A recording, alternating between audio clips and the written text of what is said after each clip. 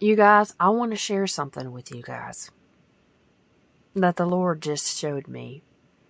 So I'm deep in prayer and I'm like, Lord, help me to forgive like you forgive. Help me to love like you love. Show me, Jesus. Show me how to do it. And like the merciful, loving Savior that He is, He said, Get rid of that cloth that's up above your bed there. And I'm like, Oh, I can't get rid of that. My child gave that to me. That's the only thing that I have from her that I'll ever have. That that's the the cloth that this little girl gave to me that I'll I'll probably the only thing I have a memory of her and the only time I ever saw her she gave it to me as a gift. I can't I can't throw that away. And he said, "All right. I'll let you keep that cloth as long as you understand the lesson that I'm trying to teach you." Is that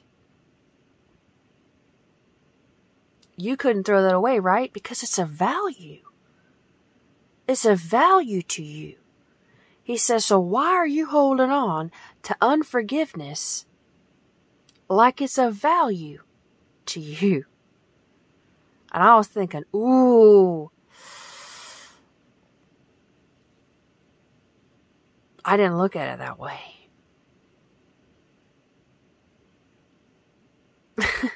And I was like, I'm mind blown. I mean, because it's like,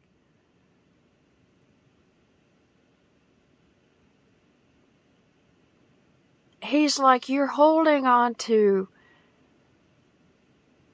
unforgiveness like it's a value to you. You know, and I see so many people struggle with the same things. Like somebody hurt me and I'm never going to forgive them and I'm never going to why are you holding on to that like it's of something of value? Throw it away. Jesus is saying to me, throw it away. It's not of any value to you.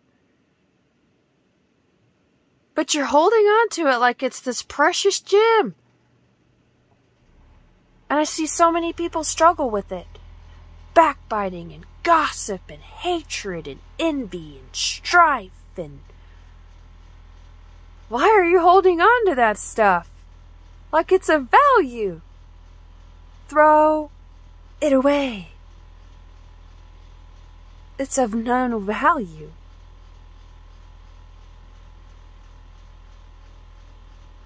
Throw it away.